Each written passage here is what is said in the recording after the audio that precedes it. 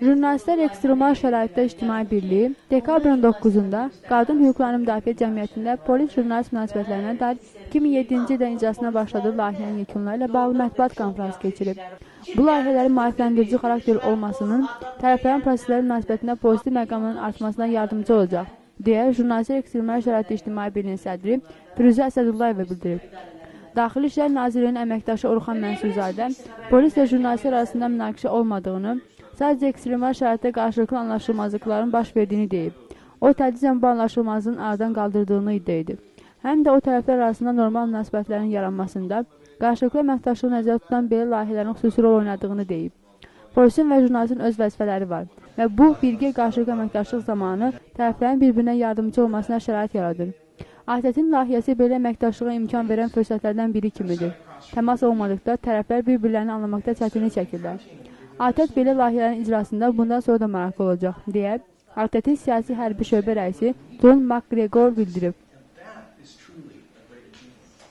Cəmiyyətimiz, məsələn, deyirdik qeyri-hökumət təşkilatı, o vaxt deyilir qeyri-hökumət təşkilatı, demək hökumətə qarşı işləyirsiniz. E, onun üçün də bizə çox təzyiqlər olurdu. Sonra onlar da başa düşdülər, biz də bir balaca düzəldik. Yəni biz başa düşdük ki, dialoqsuz heç bir işi əldə eləmək olmaz. Müəyyən qüvvələr seçki məcəlləsində filan maddələrin dəyişməsinə, yəni qalmasına razı deyil. Bunu seçkinin e, şəffaf keçirilməsinə maneə salır və çıxır etirazını eləməyə. Həmən qurum ki, ona cavab verməlidir. Cavab vermir, polisi verir onun qabağı. Axı polis dəyişməyəcək. Bunun mərkəzi seçki komissiyası dəyişməlidir. Bunu parlament dəyişməlidir. Hamısı polisin arxasında gizlənir. Və buradan da münaqişə yaranır.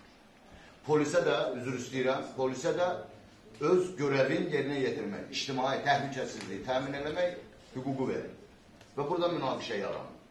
İndi o münaqişə yoxdur. Ona görə yox ki, o münaqişənin öz aradan qalxıb. Ona görə ki, siyasi hakimiyyət kütləvi aksiyaları bir dəfəli qalanır. Burada daha çox kəsmə zamanlarla bağlı deyildi ki, aynen polislə Mən e, bütün görüşlərimdə onu xüsusi vurğulamışam. Mən o sənsiz saxlamışsınız deyə sizdə. Yox, yox, bizdə yəni polislə e, e, yəni polis əməkdaşları belə deyək ki, media media təmsilçiləri arasında heç vaxt yəni münaqişə səviyyəsində vəziyyət olmayıb. Yəni belə bir e, situasiyanı mən istisna edirəm ki, yəni ola bilər müəyyən ayaq e, Navel xanım dediyi o ekstremal hallar Və ola bilər müəyyən anlaşılmazlıqlar yaranır, görünür.